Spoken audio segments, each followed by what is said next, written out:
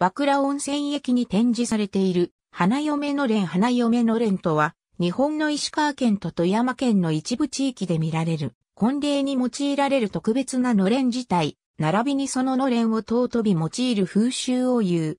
幕末から明治時代にかけて、加賀藩の領地である加賀、能登、越中の地域で行われた風習で、平成時代に入っては、石川県能登地方の観光資源としても扱われており、地域で受け継がれた花嫁の連の展示会や、これを使用した花嫁道中などの観光イベントが行われ、花嫁の連の語は、七尾市の一本杉通り振興会によって商標登録されている。使用されるのれんは、多くは加賀友禅で仕立てられ、上部には神父実家の家紋が染め抜かれている。代表的な図柄に鶴亀が用いられる。のれんは婚礼当日、婚家の仏間の入り口にかけられ、花嫁はそれをくぐって仏壇参りをした後、結婚式に臨む。式から一週間、仏間の入り口にそのままかけられ、仏間にいるとされる、婚家先祖の霊に対し神父実家の系譜をその家紋によって明示し、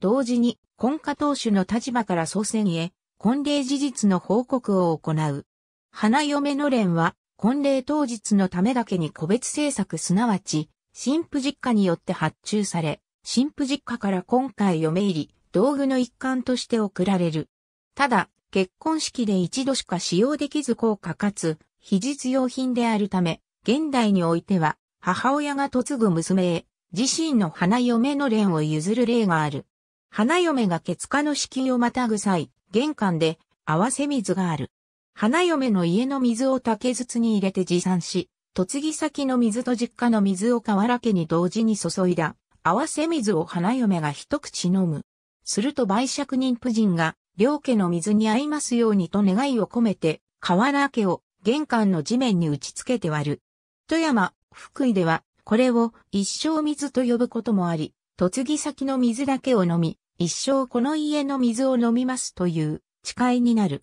2004年からゴールデンウィーク期間の4月29日から5月の第2日曜日まで七尾市の一本杉通りにおいて、花嫁の連展が開催されている。実際に使用されたのれんが、軒先、店舗のショーウィンドウや店内に飾られる。また、開催初日には、花嫁道中も披露される。2016年4月9日に開館した、花嫁のれんの常設展示施設。一本杉通り西側の七尾市、前田市町にあり、明治時代から平成時代にかけての花嫁の蓮が常設展示されている。白無垢を着付けて実際にのれんをくぐる体験もできる。ありがとうございます。